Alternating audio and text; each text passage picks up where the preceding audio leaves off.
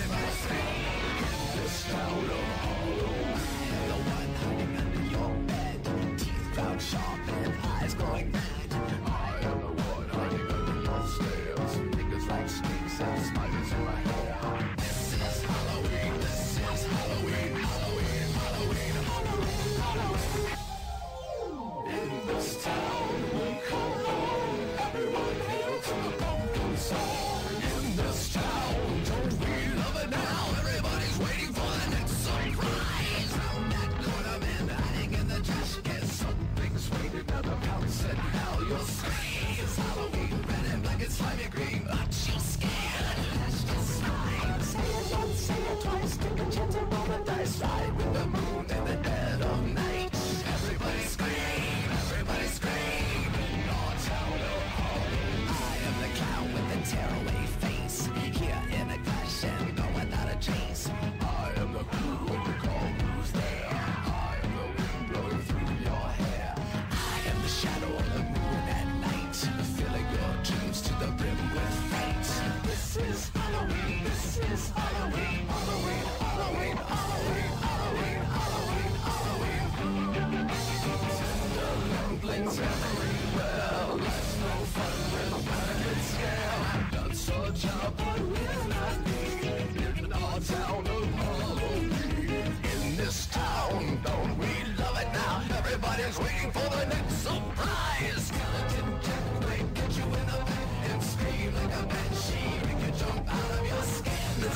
weed.